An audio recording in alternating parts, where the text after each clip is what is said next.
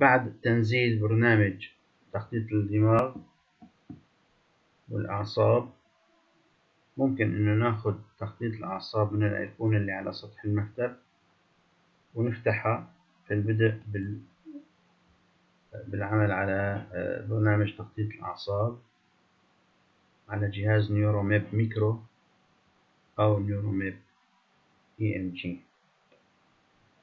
طبعا آه نختار أول شيء نيو اكزام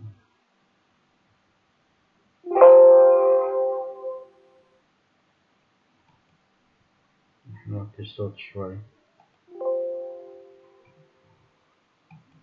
ال ال ال الشيء الوحيد اللي هو إجباري في تعريف المريض هو اسم المريض اللي ما هو ممكن إنه ينمحى باقي المعلومات ممكن تكون اوبشن آه، ممكن نحط مريض بعد التعيين.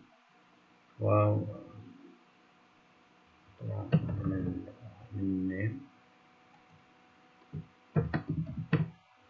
ونحدد آه، جنسه وتاريخ ولادته.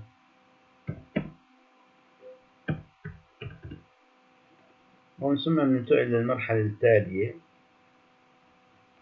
اللي هو بهالمرحلة البرنامج راح يتعرف على آه، الجهاز اللي موجود عندنا واللي لازم يكون معرف بالبرنامج.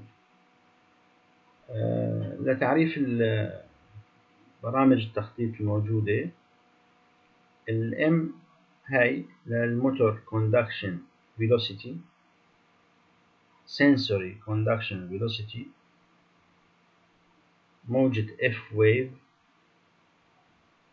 transcranial magnetic stimulation بيحتاج لجهاز transcranial magnetic واللي هو إذا كان متوفر يمكن تخطيط الأعصاب عن طريق التنبيه المغناطيسي بدل التنبيه الكهربائي H reflex موجة H reflex تنعمل من آه، ساق لرؤية منعكس آه، H اللي هو بيعطي دلالة عن النخاع الشوكي وجزء الدماغ.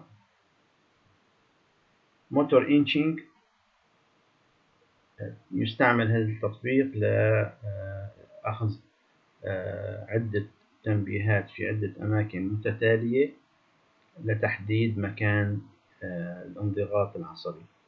والسنسوري إنشينج كمان نفس الأمر بس للأعصاب الحسية. بعدين آه، تخطيط العضلات اللي هو repetitive stimulation اللي هو التنبيه المتكرر اللي بيعطي الوهن العضلي. ال quantitative EMG ال EMG النوعي والتخطيط بالإبرة ال macro EMG وال single fiber و single stimulation single fiber jitter stimulation التطبيق الثاني هو blink reflex لإعطاء المنعكس الأعمى وال galvanic skin response كمان آه، تطبيق آخر. التطبيقات اللي التالية هي لتطبيقات لجوجل تنسل ممكن إضافة أي أيقونة أو إخفاء آه، بهذا بهذه الواجهة.